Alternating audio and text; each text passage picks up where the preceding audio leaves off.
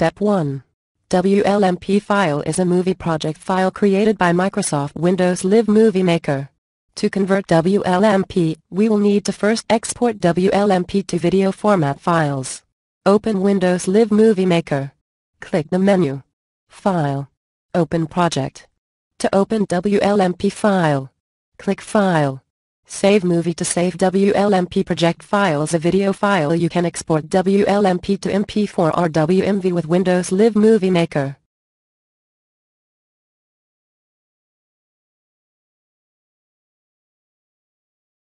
Step 2. Convert exported WLMP to MOV, AVI, MP4, MPG, MP3, etc. Launch Total Video Converter. Click Add File button to load the just exported video files from WLMP with Windows Movie Maker.